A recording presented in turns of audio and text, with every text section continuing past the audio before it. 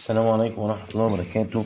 معاكم مستر تامر مصطفى. متنسوش تعملوا لنا like و share و subscribe وتفعلوا الجرس عشان يوصل لكم كل جديد.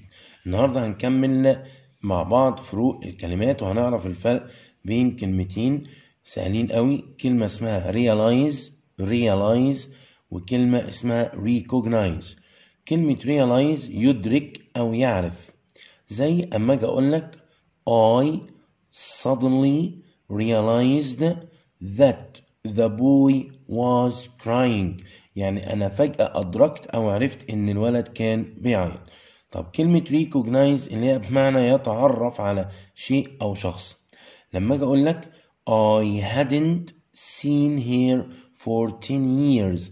أنا ما شفتهاش بقالي عشر سنين. But ولكن I recognized her immediately. لكن أنا اتعرفت عليها في الحال. شكرا. والسلام عليكم ورحمة الله وبركاته.